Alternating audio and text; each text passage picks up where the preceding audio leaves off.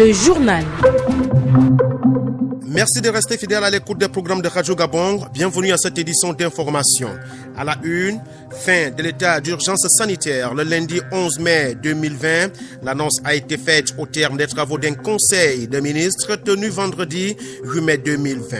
Dans ce journal, Issa Steve Mefan revient sur la définition de l'état d'urgence. Les économies africaines sont durement frappées par la pandémie du coronavirus. En Afrique centrale, certains experts évoquent une nouvelle dévaluation du franc CFA, nous dira Ahmed Ryan Zingi.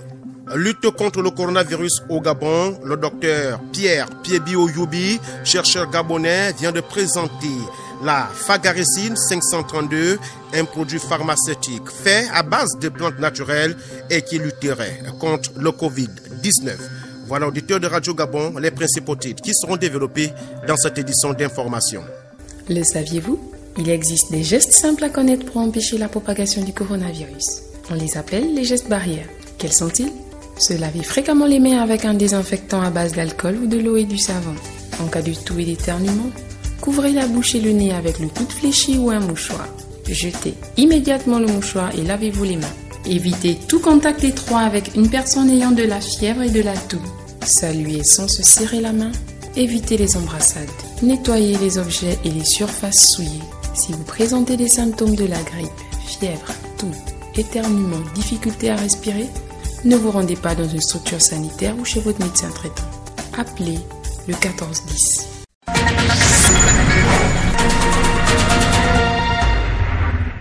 En ouverture de cette édition d'information, l'état d'urgence est un régime spécial de l'égalité qui permet la prise de certaines mesures qui restreignent certaines libertés individuelles ou l'exercice de certains droits fondamentaux pour une extension des pouvoirs ordinaires de contrôle. Les détails avec Issa Steve. Suite au Conseil des ministres tenu le vendredi 8 mai 2020 écoulé, deux projets de texte ont été adoptés. Le projet de décret mettant fin à l'état d'urgence en République gabonaise ce lundi 11 mai 2020 à 24 heures et les mesures sanitaires prises dans le cadre de la lutte contre la pandémie de la Covid-19 qui demeurent en vigueur. Qu'en est-il exactement de la définition de l'état d'urgence? La question est abordée avec le constitutionnaliste Teles Forondo. Un régime spécial donc de l'égalité euh, qui permet de restreindre, de faire face donc par la mesure de la prise de mesures qui restreignent certaines libertés individuelles ou même collectives ou certains droits fondamentaux par euh, une extension importante donc des pouvoirs euh, de police, soit à la suite donc d'un péril euh, imminent résultant d'atteintes graves, notamment à l'ordre public, ce qui n'est pas le cas d'aujourd'hui, soit à des événements présentant par leur nature et leur gravité le caractère de calamité euh, publique. Et justement, le, coronavirus a été qualifié comme un péril donc euh, sanitaire qui euh, présente donc le caractère de calamité publique. La question de l'opportunité quant à la levée de l'état d'urgence demeure inquiétante au regard de l'augmentation du nombre de contaminations. Je pense que la Constitution n'interdit pas de demander une nouvelle prorogation de au regard de ce qui est observé donc au niveau de la propagation du virus. On constate que le nombre de cas ne fait que augmenter. Euh, et d'ailleurs, nous avons été étonnés de, constater l'assouplissement des conditions, notamment on est passé du confinement euh, total à un confinement partiel. Et euh, paradoxalement, nous avons vu que euh, le nombre de personnes infectées ne fait qu'augmenter. En raison de cette menace sanitaire, les mesures de prévention, de lutte et de riposte contre la pandémie arriveront-elles à ramener la sérénité? Afin d'anticiper la survenance de la pandémie du Covid-19, le gouvernement avait pris deux décrets le 10 avril 2020 et la prorogation le 25 avril 2020 pour agir contre la propagation de cette pandémie sur le territoire national. Suite au Conseil des ministres tenu le vendredi 8 mai 2020, mettant fin à l'état d'urgence en République gabonaise le lundi 11 mai 2020 à 24 heures, les mesures sanitaires prises demeurent dans le cadre de la lutte contre la pandémie du Covid-19. À ce sujet, écoutons Télésphore Ounda, constitutionnaliste, joint au téléphone par Issa Steve Mefan. Les mesures qui ont été prises, en réalité, sont justifiées par euh, le caractère exceptionnel de l'état d'urgence. pour notamment remettre en cause un certain nombre de libertés individuelles, voire collectives, et certains droits fondamentaux, mais adopter une nouvelle loi dans le sens de créer une situation permanente de restriction de ces libertés et de ces droits fondamentaux, euh, à mon avis, il aurait fallu que le gouvernement sollicite plutôt du Parlement une autre prorogation de l'état d'urgence pour pouvoir justifier euh, notamment ces restrictions-là. Parce que euh, la fin de l'état d'urgence, normalement, explique, explique la fin du confinement et la fin des différentes mesures qui ont été prises et qui restreignent les libertés et les droits fondamentaux des citoyens. Alors, donc, euh, rien ne justifie plus euh, qu'on se retrouve devant une situation quasi permanente de restriction des libertés et, qui n'est pas euh, juridiquement prévue par la Constitution. La Constitution ne prévoit pas une situation permanente de restriction des libertés.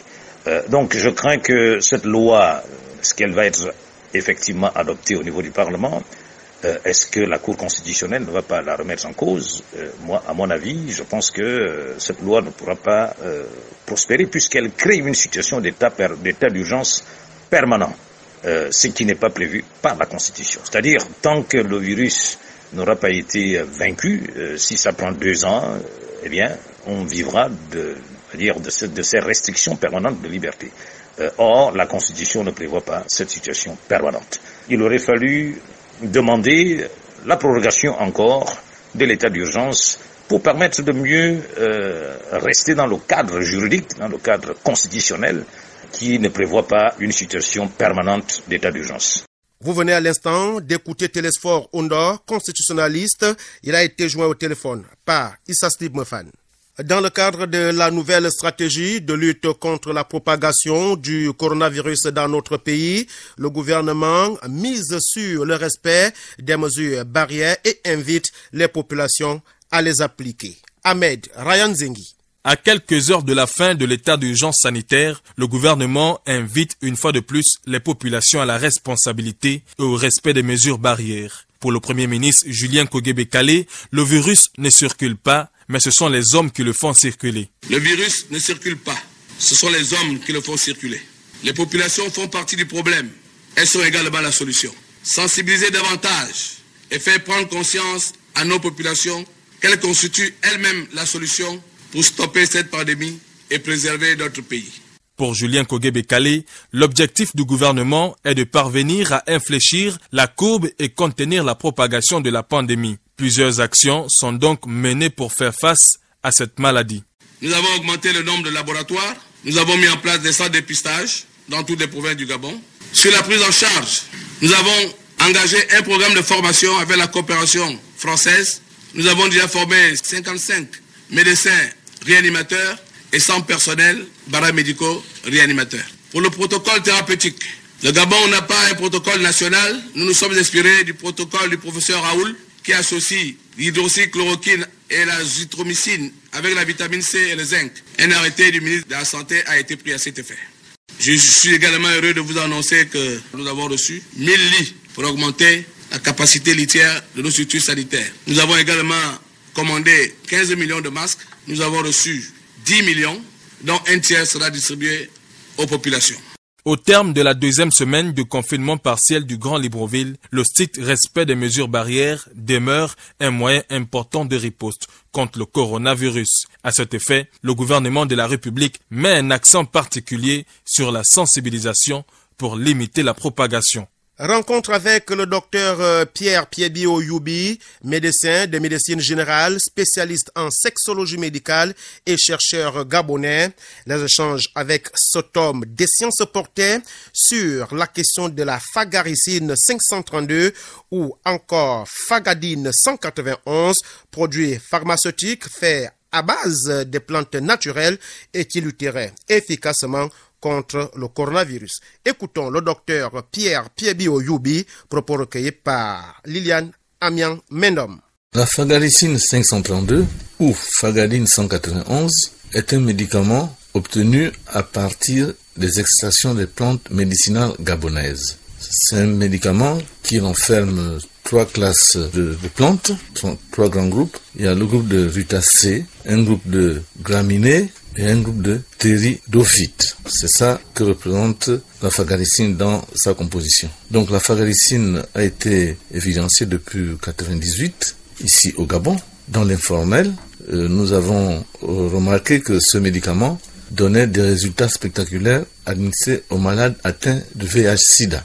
Nous avons fonctionné dans l'anonymat comme ça pendant plusieurs années, jusqu'en 2000-2001, où j'ai vu la nécessité de m'ouvrir à d'autres chercheurs. C'est comme ça que j'ai choisi de me faire accompagner par euh, un compatriote qui faisait déjà une certaine promotion médicale dans le cadre de son association qui était Agir pour le Gabon.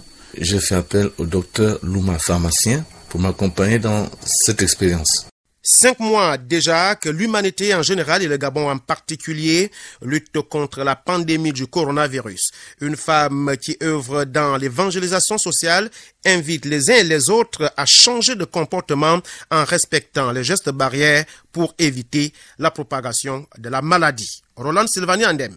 C'est depuis plusieurs années que la prophétesse Atomzam exerce son ministère pastoral. Cette femme visionnaire est mère d'une nombreuse famille. Je suis euh, dans le Seigneur parce que Dieu m'a appelé. Ça fait plus de 20 ans que je suis dans le Seigneur. Ça a commencé, j'étais à l'éducation nationale, après le TP, j'ai travaillé au ministère des Travaux publics et c'est de là que Dieu m'enlève et me dit, pendant que j'allais à des temps de prière, je me fais agresser de nuit et il me dit voilà comment se trouve le Gabon. La servante de Dieu n'est pas surprise du vent malsain de la Covid-19. Et c'est de là que le Seigneur me fait comprendre qu'il faille tout laisser, quitter même cet endroit parce qu'il m'appelle réellement à dénoncer tous les maux qui minent cette nation pour qu'il puisse guérir cette nation, pour que le peuple puisse se repentir sincèrement, c'est-à-dire changer les comportements, changer leur langage, changer toutes leurs actions, quitter les mauvaises actions pour revenir à Dieu seul. Pour cette dernière, la prise de conscience est primordiale pour freiner la propagation du coronavirus. Dieu punit le péché et il a parlé, il a dit qu'il fallait que le peuple se répande, surtout, surtout, surtout notre Gabon. C'est là où je me suis focalisé d'abord, mais la repentance devait quitter de nation en nation. Parce que tout ce que les nations font actuellement ne plaise pas à Dieu. En commençant par l'Église. Parce que c'est l'Église qui doit être le modèle pour la nation. La bergère encourage tout en saluant les initiatives entreprises par les autorités gouvernementales dans la lutte contre le coronavirus. La pandémie à coronavirus constitue une véritable menace quant à une éventuelle dévaluation de plus du franc CFA. La monnaie utilisée en Afrique centrale depuis plusieurs décennies serait de plus en plus en difficulté. Le point avec Ahmed Ryan Zengi baisse des entrées en termes de réserve de change et de couverture du taux de la monnaie en Afrique centrale, une tension économique sous-régionale inédite qui pourrait se justifier, selon l'économiste William Tia nous n'avons pas réalisé les ventes et au prix qu'on escomptait. Donc les réserves de change sont moins importantes aujourd'hui. Et ces réserves de change ont tellement baissé, on arrive quasiment à l'équivalent de trois mois d'importation. Les accords de coopération avec la France stipulent qu'à une limite de trois mois d'importation ou en dessous, la question de la dévaluation se pose automatiquement. La situation économique actuelle en Afrique centrale aurait donc très vite fait réagir la Banque centrale qui tire une sonnette d'alarme. La Banque centrale a tiré la sonnette d'alarme pour dire qu'il y a un risque de dévaluation pour le franc CFA d'Afrique centrale. Mais comment empêcher ou limiter ce risque réel de dévaluation du franc CFA en Afrique centrale avec un précédent risque évité en 2015 par l'intervention du Fonds monétaire international qui avait injecté de liquidités aux États d'Afrique centrale? Cette injection de liquidité du Fonds monétaire international avait évité la dévaluation des devises qui nous avaient été euh, prêtées par le Fonds monétaire international. Aujourd'hui, on n'est pas forcément dans la même configuration. Et le Fonds monétaire international aussi est sollicité pas seulement par l'Afrique, mais par le reste du monde aujourd'hui. Et elle n'a pas suffisamment de liquidité pour soutenir tous les États. Donc comment, dans ces circonstances-là, les pays d'Afrique centrale, puisque c'est une monnaie commune, vont faire pour éviter une dévaluation du, du franc CFA? Vivement des mesures fortes et efficaces capables d'insuffler un souffle nouveau à l'économie sous-régionale, qui passe également par une application stricte de la nouvelle réglementation de change éditée pour le franc CFA. Fermés depuis le début du confinement du Grand Libreville, les salons de coiffure rouvrent leurs euh, portes, un ouf de soulagement pour ces opérateurs économiques au grand bonheur des populations. Un reportage d'Edgar Kaba. Jesse lui-même, coiffeur, a aujourd'hui une nouvelle coupure de cheveux qui ressort la classe de ce jeune débrouillard qui vient de renouer avec son activité de coiffeur en cette période de Covid-19. Il a des clients et il nous parle de ce qu'il gagne et comment est-ce qu'il fait pour respecter les mesures barrières à l'arrivée des clients dans son salon de coiffure, situé quelque part dans le Grand Libreville. C'était fermé, c'était vraiment difficile pour nous autres là pour subvenir à nos besoins. C'était vraiment difficile. Ça va quand même, il y a les clients, ça va. Ça va un peu. Il y a quand même des entrées, ça va. Dans la journée, 5 000, 6 000, ça va quand même. ça soulage vraiment. Est-ce que quand le client arrive, vous avez le désinfectant Oui, il lave les mains, il a le désinfectant. Quand il arrive, il nettoie ses mains, il enlève à boire la bavette, nous on met nos bavettes, on coiffe, après il remet sa bavette, il lave les mains, il part. C'est comme ça que ça se passe. Selon Benji et Cyril, qui sont heureux de pouvoir désormais avoir la possibilité de se faire beau, même en ce temps de coronavirus, l'hygiène et le look figurent aussi en bonne place du quotidien des hommes et des femmes. Je me sens heureux puisque maintenant j'ai la possibilité d'y partir me coiffer.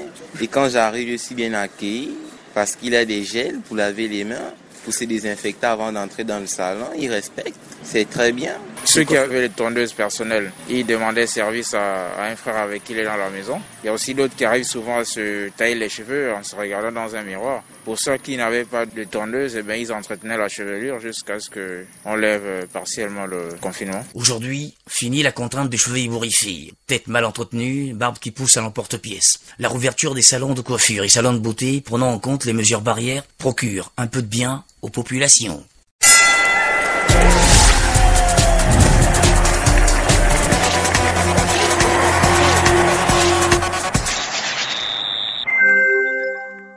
La page de sport de cette édition d'information, c'est avec Hervé David Maguena.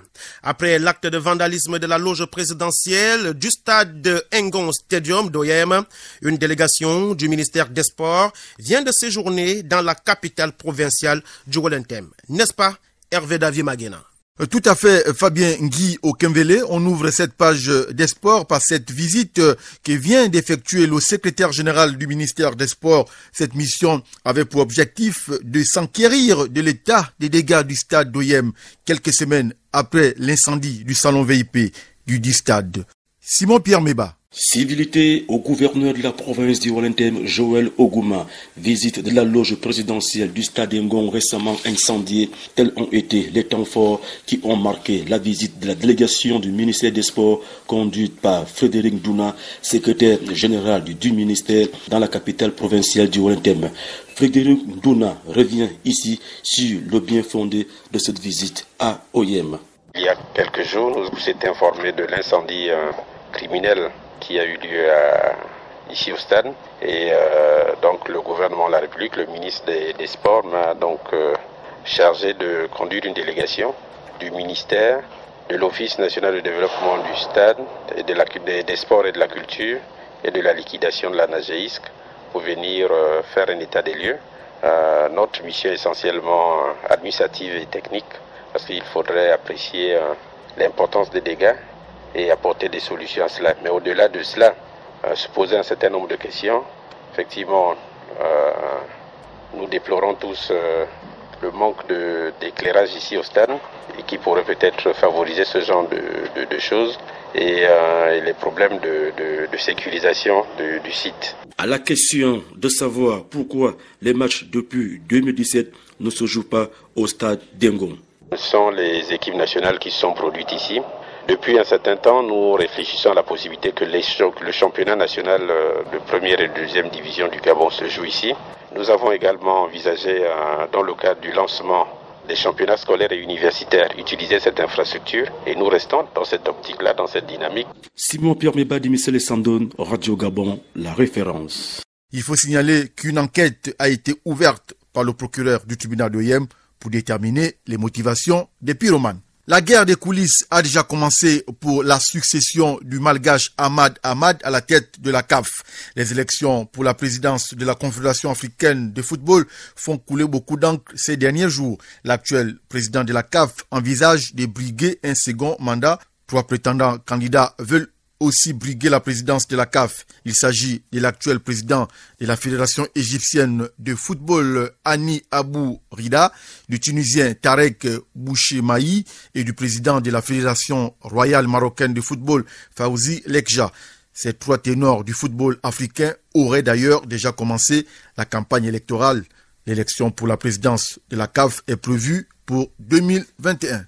Restons dans ce domaine pour parler d'élection pour la présidence de la Fédération ivoirienne de football. Ce scrutin suscite des tensions grandissantes, notamment suite au refus de l'Union des anciens joueurs de soutenir l'un de leurs, Didier Drogba, candidat à la présidence. L'UAFCI, en effet, porte son choix sur Sori Diabaté, l'actuel vice-président de l'AFIF. Didier Drogba pourra tout de même compter sur le soutien de Diomansi Kamara, ancien international sénégalais et consultant des Canal+. Diomansi Kamara appelle à voter pour l'ex-attaquant de Chelsea. Enfin, le bord garant des lois du jeu a autorisé ce vendredi le passage de 3 à 5 remplacements par match durant le match. Chaque équipe disposera de trois temps morts pour effectuer des changements qui pourront aussi se faire à la mi-temps. Un sixième remplacement sera possible durant la prolongation. Cet amendement à la loi 3 du jeu qui entre immédiatement en vigueur s'applique aux compétitions qui s'achèveront fin décembre. Le bord et la FIFA détermineront ultérieurement si cette option peut être prolongée jusqu'en 2021. Voilà, auditeurs de Radio Gabon, nous arrivons au terme de cette édition d'information, mais avant de vous quitter, le rappel de ces principales articulations. Fin de l'état d'urgence sanitaire le lundi 11 mai 2020. L'annonce a été faite au terme des travaux d'un conseil des ministres tenu le vendredi 8 mai 2020. Dans ce journal, Istas Mefan est revenu sur la définition de l'état d'urgence. Les économies africaines sont durement frappées par la pandémie du coronavirus en Afrique centrale. Certains experts évoquent une nouvelle dévaluation du franc CFA, nous a dit Ahmed Ryan Zingi lutte contre le coronavirus au Gabon, le docteur Piebi Oyubi, chercheur gabonais, vient de présenter la Fagarincine 532, un produit pharmaceutique fait à base de plantes naturelles et qui lutterait contre le Covid-19. Voilà auditeur de Radio Gabon, c'est ainsi que nous mettons un terme à cette édition d'information réalisée par toute l'équipe de la rédaction de Radio Gabon. La page de sport était assurée par Hervé David Maguena. Je suis Fabien Guillaume Kimvili. Merci de nous avoir reçus chez vous.